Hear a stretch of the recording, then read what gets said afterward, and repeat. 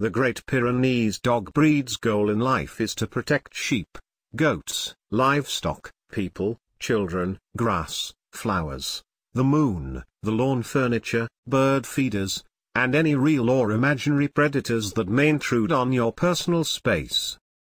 There are top 10 interesting facts about Great Pyrenees. 1. Origin.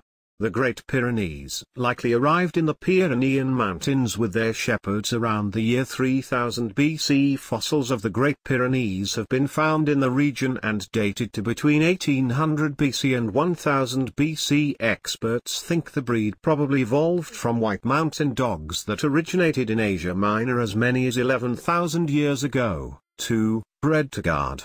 The Great Pyrenees was bred to be a livestock guard dog for the farmers in the Pyrenees Mountains of Europe which form the border between France and Spain. These farmers bred the Great Pyrenees and the smaller Pyrenean shepherds. The latter was in charge of herding, while the former was in charge of protecting the flock from predators like wolves and bears. 3. Appearance The Great Pyrenees is a very large, muscular, double-coated dog.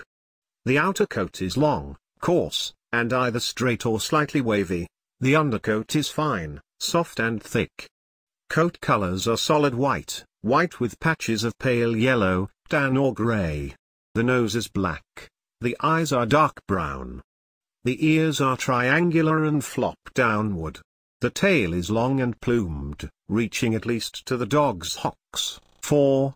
Personality the Great Pyrenees is a calm, well-mannered, serious dog known for his great devotion to family, including well-behaved children.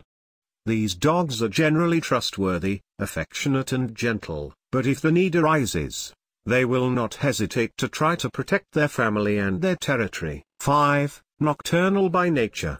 The Great Pyrenees was bred to guard the flocks at night while the shepherds were sleeping and predators roamed about. Because of this, he is naturally nocturnal. People who keep his as pets shouldn't be surprised to find they often bark at night.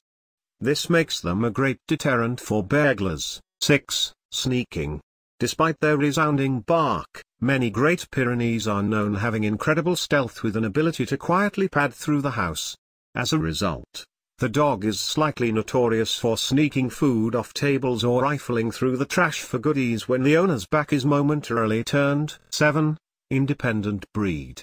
The Great Pyrenees was bred to be left alone and guard sheep in mountain valleys, so they are by nature relatively independent.